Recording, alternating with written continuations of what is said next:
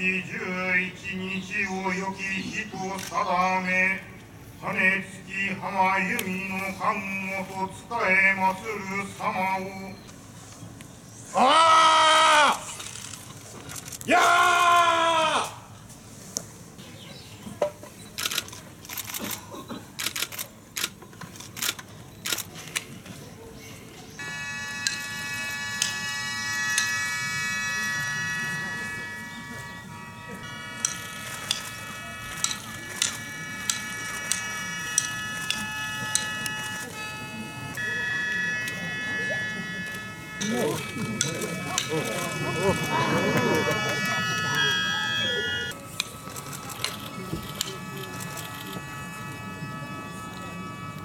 本年は早稲中根奥手とも非常によろしく、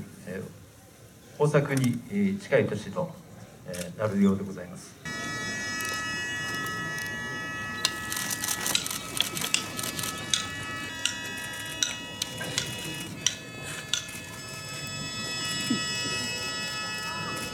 すごく緊張して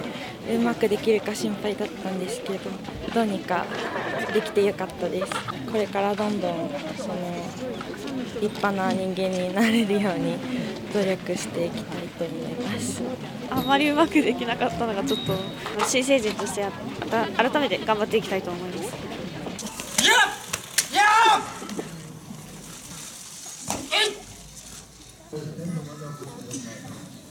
あな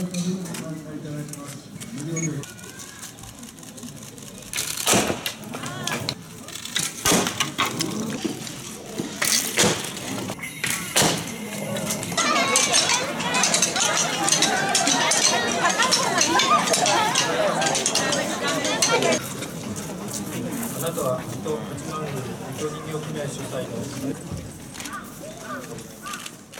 おめでとうございます。